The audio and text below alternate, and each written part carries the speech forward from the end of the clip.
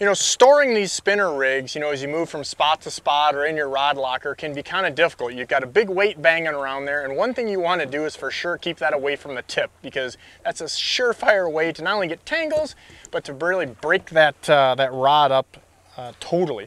So what I like to do is like, if I'm keeping them outside my rod locker, um, basically in the garage or in the boat or whatever, I keep them fully extended out. I like telescoping rods.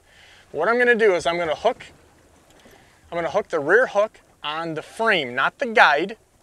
And then I'm gonna take it to the reel here. I'm gonna take that, that slack and I'm gonna put it on the non-reel side. I'm gonna put it on where you don't have the handle and the gears and stuff to get in the way.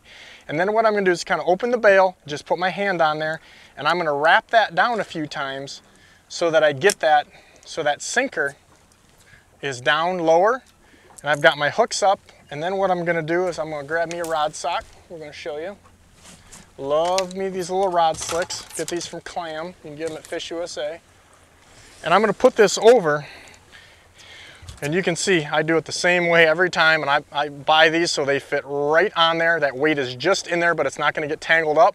Everything's not gonna be all over the place. You can put a handful of these things in your garage or on the side of the boat like I've got here and it's gonna make a big difference in not getting things tangled up, grabbing one rod, getting one rod, whether it's on the side of the boat, the garage, or your rod locker.